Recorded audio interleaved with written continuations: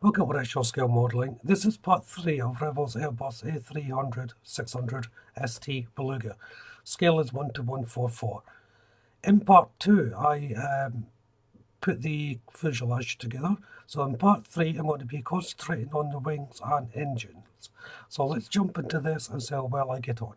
I'm starting on the rear wings and I'm using Revell Color 90 Silver and this is for the flash at the front of the wings there is a, an actual line to follow here, so there's no real need to uh, use a masking tape at this stage.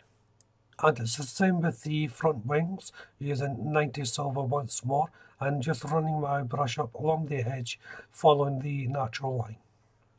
I'm then moving on to 371 light grey Revell Aquacolor, and as you can see there I've um, used masking tape now.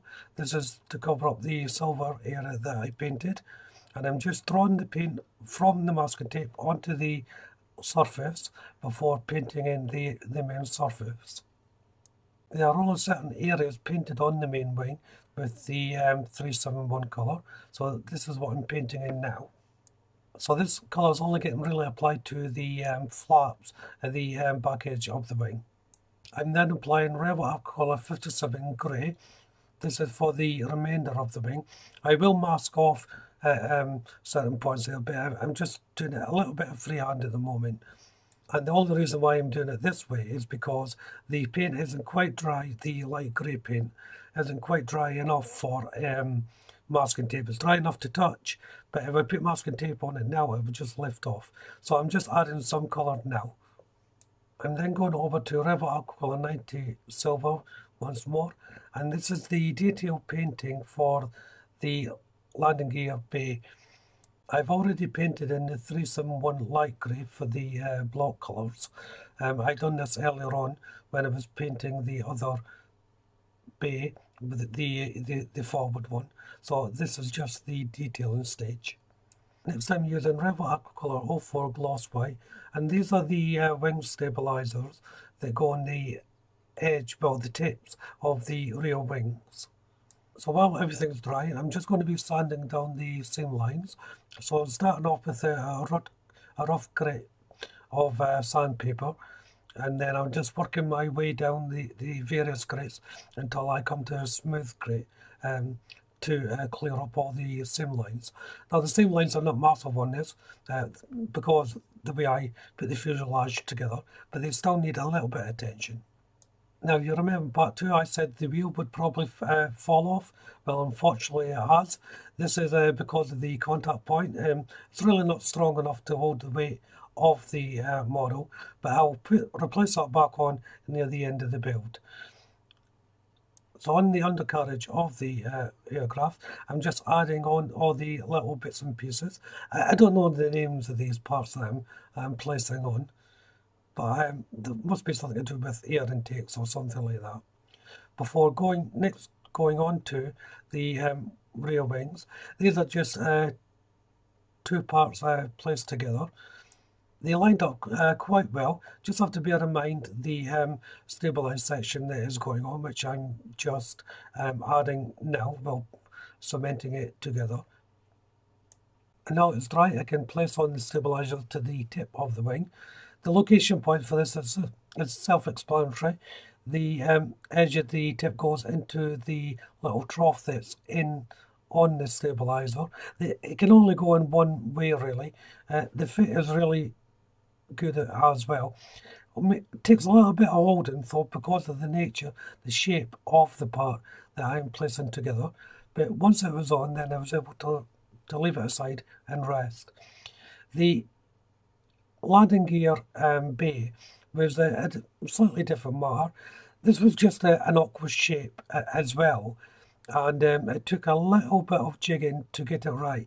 In actual fact, the um, instructions got the uh, numbers the wrong way around, so that was slightly confusing.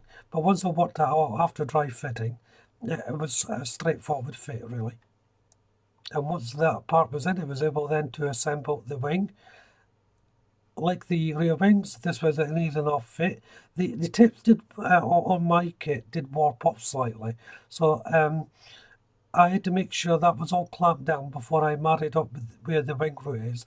It wasn't a major thing, but um, if you've never built before, you may not realise you would need clamps for this sort of thing. You know, but um, it's just something to bear in mind. Um, it, it's an okay. The plastic is just warped a little bit. Nothing to throw anything out on alignment. It just needs a bit of attention. Moving on to the engines now, and the first colour here is 99 aluminium by Revell Aquacolor, and this is for the rotating blades. And then using Revell Aquacolor 91 steel, and these are for uh, a section of the outside part of the engine and the inside of the cowling for the engine as well.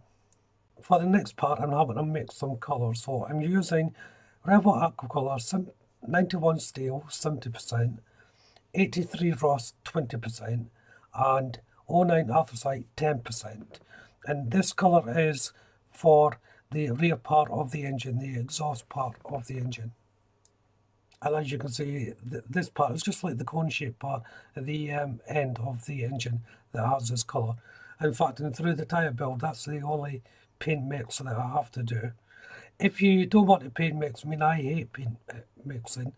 Um, a rusty colour would work or a dark steel would work as well.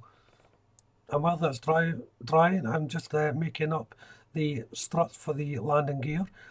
There's not much construction here. There's uh, two little parts that go into the main strut, which holds the, the wheels together.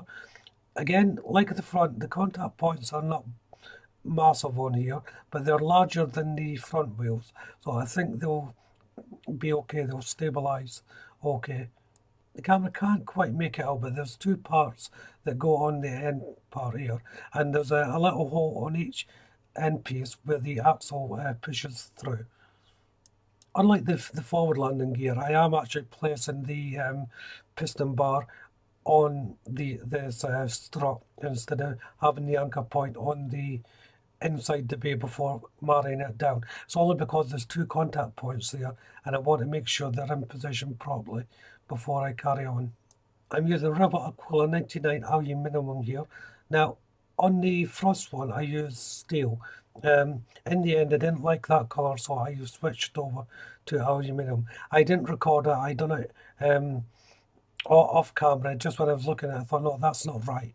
So the colour has changed slightly on the front strut. So now it's time to put in the aerofoils uh, for the uh, wing. Th these fitted in quite well. The location point needed to be opened up slightly. That was only because there was a bit of paint on them. So just uh, using the uh, thin nose tweezers, uh, just opened up, didn't use my knife. And these just uh, pushed on without any problem there is Pacific ones going Pacific so if you're doing this, just cut them off the sprue in order uh, to place them on. The last part to go on is the end piece of the wing. So it's back to the engine and time to build the engine. Now the engine itself was uh, very easy to build.